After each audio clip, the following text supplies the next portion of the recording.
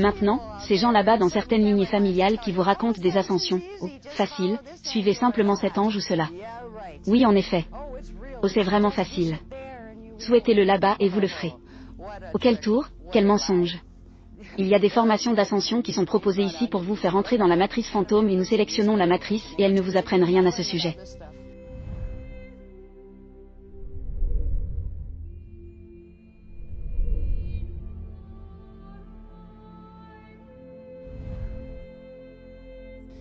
Tous ces éléments sont des connexions Stargate, des univers se connectant à des univers se connectant à des univers plus grands et des univers plus grands s'étendant jusqu'à l'endroit où ils recommencent à se contracter pour le premier point final de la création, qui est perpétuel. Maintenant, c'est au sommet. Nous allons commencer par le bas ici. Quel est l'escalier vers le ciel? Vous commencez ici. Stargate 3 lactique et universel, rappelez-vous où sont Stargate 3 et R12 universel au lieu de 12 Stargate, non nous sommes également galactiques Stargate 3, donc la Terre est un très bon point de départ. Si vous allez faire l'ascension, vous n'avez pas à aimer, vous savez, sauter de Jupiter à la Terre. Vous pouvez, tout comme vous êtes déjà ici. Vous pouvez donc passer par le Stargate 3 universel, n'est-ce pas? Vous pouvez passer du système galactique au système universel Stargate depuis cette planète. Quelles autres planètes? Vous devriez en fait utiliser leur système planétaire pour entrer dans le système galactique pour vous rendre sur une planète. Cela avait une connexion de porte universelle. La Terre est l'une de ces planètes. C'est pourquoi c'est si précieux, et c'est pourquoi il y en a plus ici depuis très longtemps sur les Templiers. Maintenant, vous quittez la Terre. Prenez, vous savez ici la Terre avec vous Galactic Stargate 3, et quand vous voyez GSG, c'est Galactic Stargate et USG est Stargate universel. Et si vous voyez BSG, c'est Stargate planétaire. Ok, alors vous devriez venir ici et à travers notre densité une porte densité 2 densité 3 densité 4 jusqu'à la porte des étoiles universelles. Maintenant, ce que nous faisons, c'est grimper. La première partie de notre petit escalier vers le ciel, qui est notre première grille cathodique, vous devez monter jusqu'à la porte 11. Maintenant, vous pouvez monter jusqu'à la porte 12, mais la connexion, il y a un point de connexion que je vais montrer vous en une minute, où notre réseau universel se connecte au réseau ECA Katara. Il se connecte à la porte ECA 3 et à notre porte universelle 11. Il y a aussi une connexion entre une serrure, qui n'est pas une porte, c'est un espace entre les deux portes. Je ne vais pas entrer dans le loquet maintenant. Notre 12 par 10 12 ici se connecte au point central et à l'univers écho. Pour entrer dans les univers d'écho, vous devez passer par le 11, car notre 11 est au même endroit que 3. Et je vais vous montrer à quoi ça ressemble dans une minute.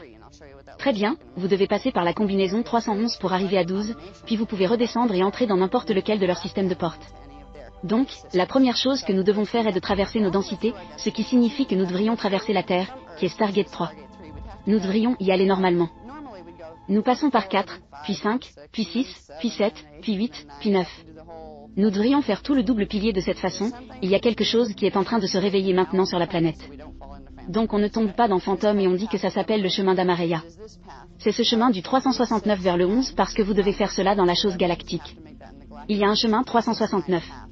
Il passe littéralement les fréquences centrales de l'ECA par ici. C'est le chemin d'ascension le plus sûr, le plus sûr, mais c'est le plus difficile à utiliser mais c'est parce qu'il faut que vous l'ayez.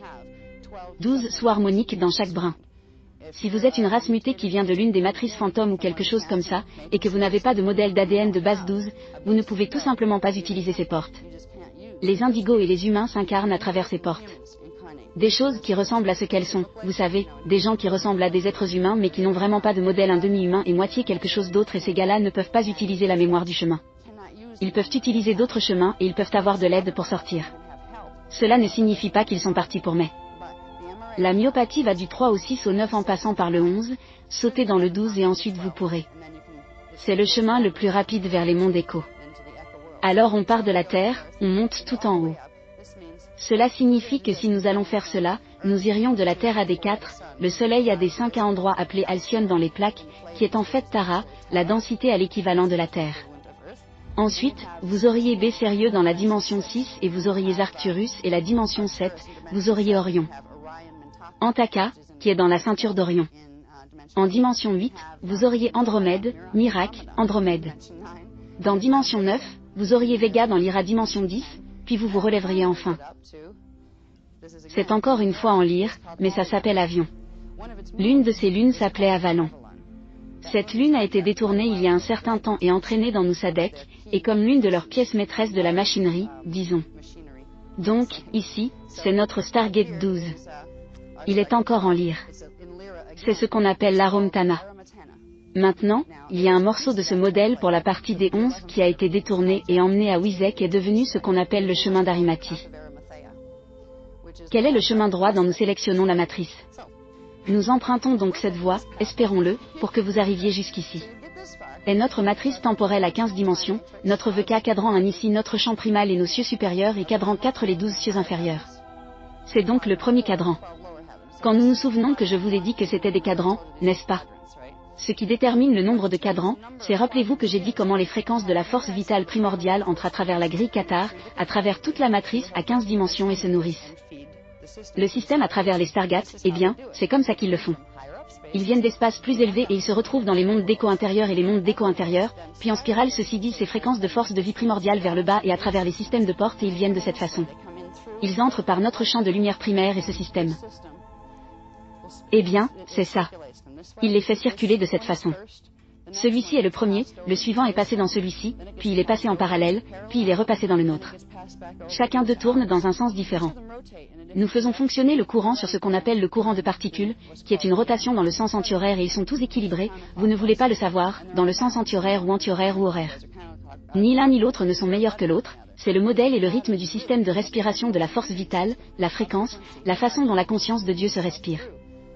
Les systèmes de porte des étoiles, donc nous sommes numéro 1, c'est par ici. C'est là qu'ils commencent à entrer dans notre système. Et si nous voulons que nous obtenions la fréquence, voici une autre raison pour laquelle je dois parfois attendre pour obtenir des informations sur les plaques, car si la libération de fréquence est là, il est temps d'obtenir les informations là-bas avant que nos grilles planétaires ne s'activent pour maintenir cette fréquence, elle doit passer d'abord par nos champs de lumière, puis par les champs de lumière parallèles, puis la Terre parallèle l'obtient en premier, et puis finalement elle descend ici où nous sommes. Donc ça prend du temps. Il y a tout un système de la circulation d'énergie qui est impliquée dans l'introduction de la conscience. Et c'est le même système que si vous voulez sortir et aller ailleurs, vous suivez les mêmes courants qui sont les courants qui remontent. C'est un système de circulation. Ils entrent et sortent selon le schéma. Donc nous sommes ici. C'est ce qu'on appelle le cadran bêta 4. C'est là que se trouvent nos systèmes de densité et nos champs lumineux et sonores primaires. Beckett, cadran 1. Donc on passe par ici, on passe à 11. Enfin on arrive ici et on est dans l'écho. C'est ce que nous visons dans cette vie. Une fois là-bas, nous allons passer de longues vacances. Tu sais, je suis sérieux, mais c'est un très bel espace. Je veux dire, c'est, c'est un univers holographique en trois dimensions qui a les quatre niveaux de densité et en fait, c'est autonome ou qu'y a-t-il de tout ici? Les 707 cieux inférieurs. Ils ont les leurs là-bas qui sont, disons, le plan divin perfectionné de ce qu'ils étaient censés être. Il était une fois avant que les trous noirs ne se produisent et que vous ayez vos mondes BK, universal, BK. Ils font partie de quelque chose de plus grand. Nous sommes ici. C'est l'Akasha, si vous remarquez cette chose ici. Lorsque vous vous connectez, Gates forme une autre grille Katara à un niveau plus élevé. Voici nous, voici notre champ lumineux primal, voici un champ lumineux parallèle, voici parallèle, voici le CA intérieur et voici quelque chose d'autre. Et c'est une grille Katara, ce qui signifie qu'elle va former trois niveaux de densité et un quatrième partagé avec autre chose. Nous avons donc construit de cette façon. C'est encore plus intéressant. C'est la prochaine étape. Nous passons donc de l'écho intérieur ici à cette matrice. Ce serait le prochain niveau d'évolution vers la divinité à ce stade, cependant, lorsque vous entrez dans la BK, je veux dire chaud. Les filles. Si vous travaillez avec biogénésie, vous avez la possibilité de récupérer votre modèle original complet.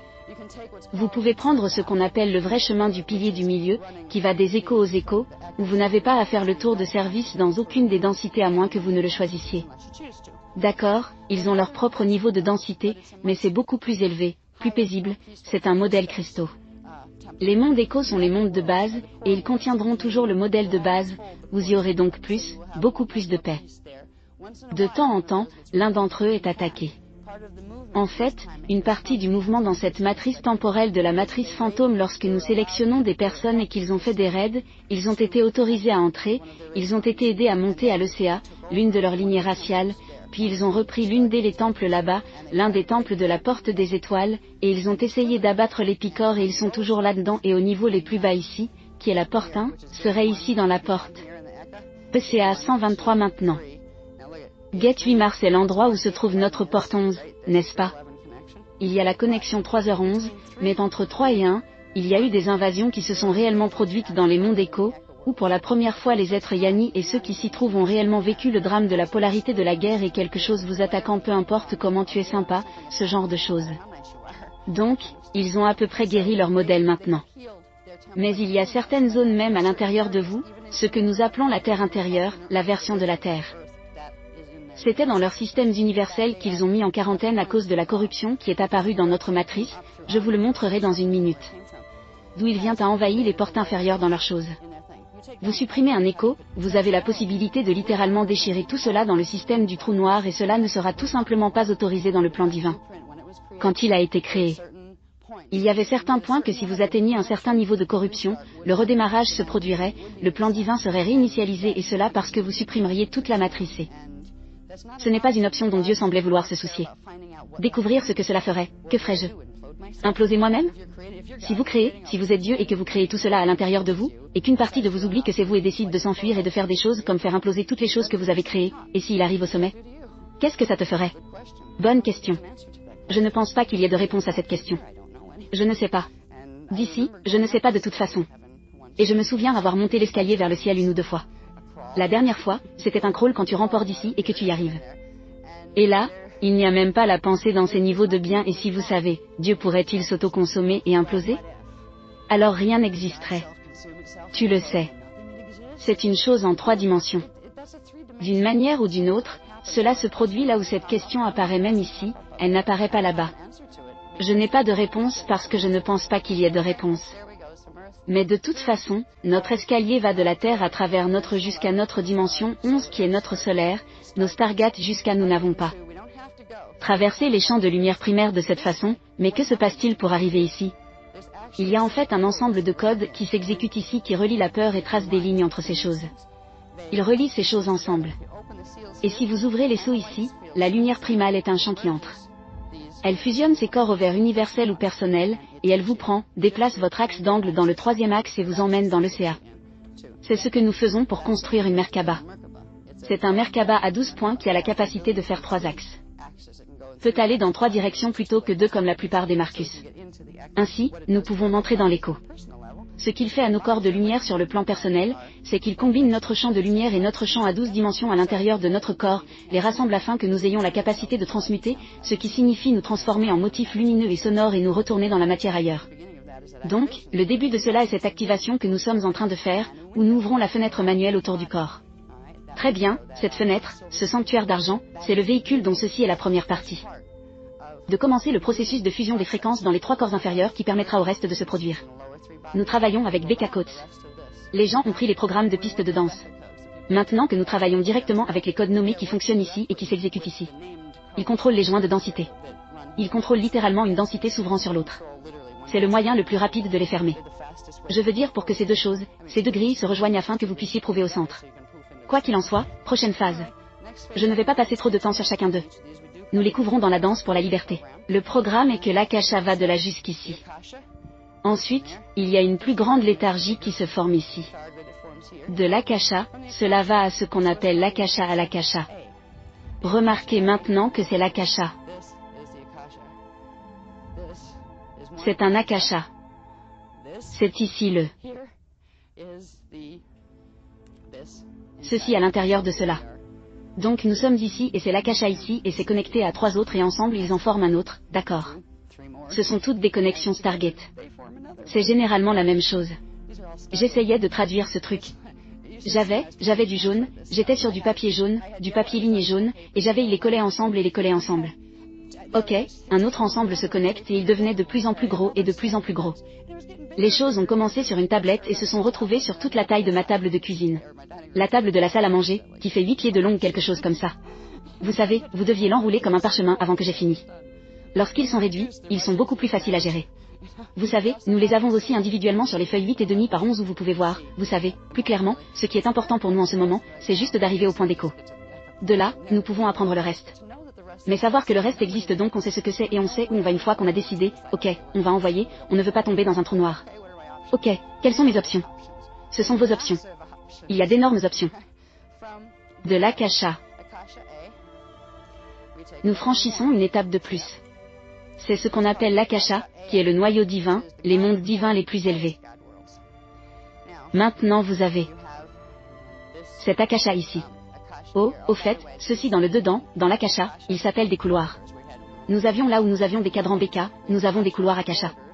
Et quand nous passons au niveau supérieur, nous avons l'akasha. Un sceptre, pas de spectre. Quels sont les spectres Spectres. Donc ces choses sont appelées spectra à ce niveau. Et vous reprenez ceci une fois de plus. J'ai passé un sacré moment à assembler ça.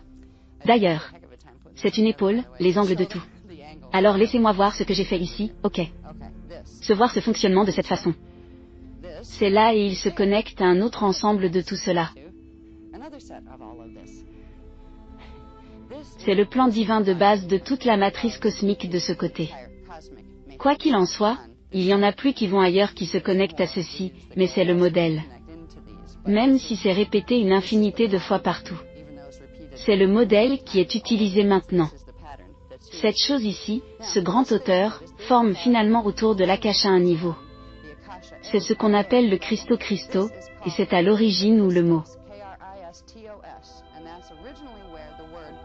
Christo, ou l'un des mots du Christ en est issu, était orthographié avec un K et faisait référence à ce niveau CH Christo est le petit plan divin des douze qui en découle. Quand vous descendez jusqu'ici, nous sommes presque dans les systèmes dimensionnels. C'est donc le Christo.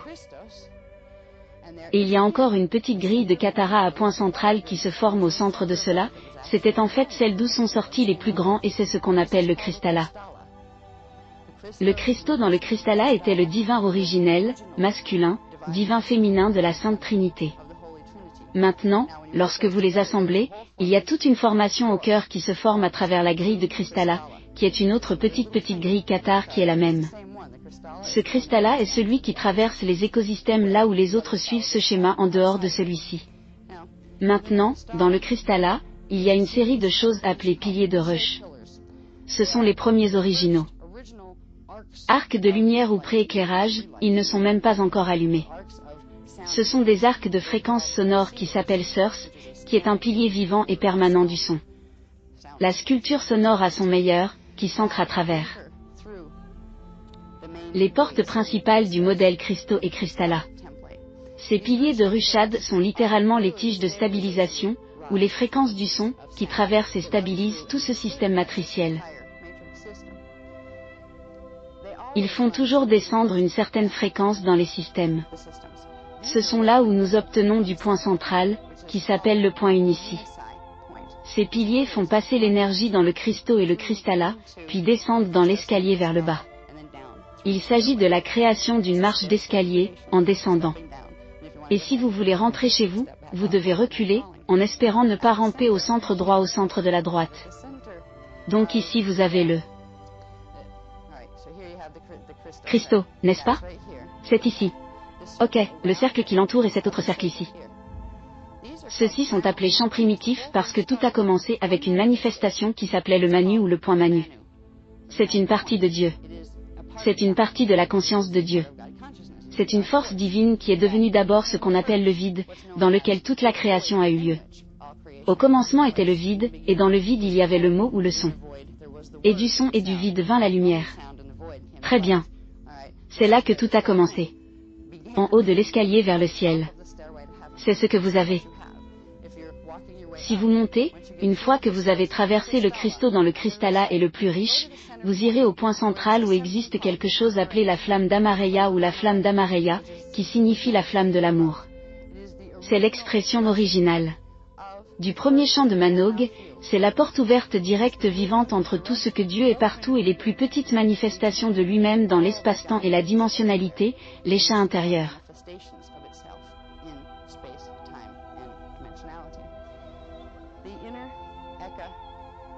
Maintient l'aimera en feu à tous les niveaux et il y a littéralement des temples construits qui maintiennent cette porte. C'est ce qu'on appelle une serrure plutôt qu'une porte. C'est un espace qui existe entre Gates, et en fait quand vous regardez une grille Qatar, c'est entre les je ne les ai pas numérotés quand ils obtiennent des nombres bizarres quand ils montent, mais si vous regardez une cathédrale, celle-ci encore ici à la base à travers 7 chiffres dessus, ok. Entre 6h et 7h est le point central de toute la grille de Katara, d'accord. Maintenant, ils sont liés à d'autres au point 1213, mais au point central de chaque grille Katara. se passe A. C'est une serrure ou un espace entre code 6 et code 7 ou entre ces deux positions.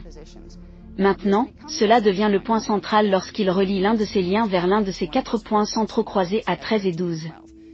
Il y a donc ce lien, ce pilier d'amour des fréquences Amareya, qui étaient les fréquences originales de Dieu, l'intention de Dieu vivant.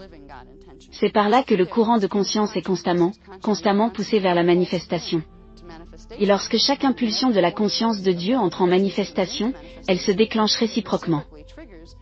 Une autre impulsion a remonté pour qu'elle s'autorégule. Nous savons que les choses, les êtres, les planètes, les univers montent et descendent et circulent à travers la manifestation. C'est le modèle par lequel ils le font. Lorsque nous arriverons à la fin de cet atelier, nous allons apprendre pourquoi j'introduis certaines de ces choses qui ont vraiment à voir avec le programme de la piste de danse. Plus que cela parce que nous allons, nous sommes au milieu de quelque chose à un niveau universel où notre planète va faire partie de ce qu'on appelle le projet ARC. Ils ancrent les douze piliers en forme de toit dans nos grilles planétaires parce que s'ils ne le font pas, cette planète s'en va. Et si cette planète devient universelle Stargate 3, il y a déjà de la corruption dans certaines des portes des étoiles supérieures. Le tout va. Ils ne permettront pas que cela se produise. Nous en faisons donc partie. Ancrage des arcs qui sont des piliers. Les piliers étaient droits, mais à cause de la flamme d'Amareya, ils se dirigent vers elle et ils forment des arcs de conscience électrique. Ce sont donc des arcs électriques d'énergie. Ce ne sont pas comme des arcs que vous conduisez sur l'eau, vous savez. Mais toute cette histoire avait beaucoup à voir avec cela. Noé et l'arche. Oui, gros bateau. Nous n'allons donc pas construire de gros bateaux, soit dit en passant, dans le cadre du projet artistique. Nous n'allons pas sortir avec nos marteaux et faire nos mesures et construire nos choses pour flotter sur l'eau. Mais nous construisons quelque chose d'encore mieux. Je voulais donc que vous compreniez l'escalier afin que vous sachiez, vous pouvez avoir une idée d'où vient ce dont nous parlons, à qui avons-nous affaire, qui est l'Alliance Gardien par opposition à certaines des autres personnes qui parlent à travers les canaux là-bas. L'Alliance passe par toutes les matrices, celles qui peuvent nous parler. Les plus clairement sont ceux de nos mondes d'écho intérieur ici-bas. Qui relaient les messages de la chaîne D'accord, mais il y a tout un lien, en particulier à travers les points centraux, à travers les univers ECA, jusqu'en bas. Ce sont les Yanni. Ils existent ici, ici, ici, ici, ici. Ils sont les gardiens des portes du point central. Ils sont les gardiens de la flamme d'Amareya. C'est à qui nous avons affaire. La raison pour laquelle ils nous parlent, c'est parce que cet endroit est en difficulté et que nous pouvons y faire quelque chose et nous pouvons nous aider tout en aidant la planète.